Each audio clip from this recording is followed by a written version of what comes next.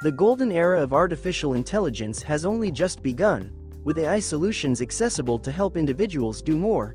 However, Apple's involvement in AI has been modest, to put it mildly. Apple needs to do something to create an impact and show the world that it is keeping up with the times. The M3 chip was the first 3nm Mac processor, which debuted with the A17 Pro in the iPhone 15 Pro. The 3nm technology allows for improved transistor density, which can lead to better performance and power efficiency. While the M3 obviously outperforms the M2, which was created using an improved 5nm technology, we see what is commonly referred to as an incremental performance bump of 15 to 20%. While any increase is beneficial, 15 to 20% isn't remarkable. As a result, the M3's absence of a higher than average leap hurt its marketing efforts. Even historically, it pales in comparison to the M1, a microprocessor that had the advantage of being the first to market and outperforming the Intel models it replaced.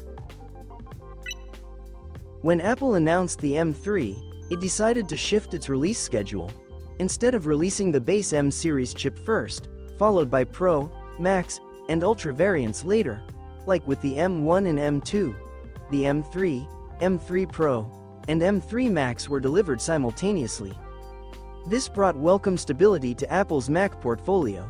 However, the M3 cycle was still ongoing until this past Sunday, with M3 improvements for the Mac Mini, Mac Studio, and Mac Pro said to be on the way. However, if an M4 iPad Pro is released, it looks that the M3 is effectively done.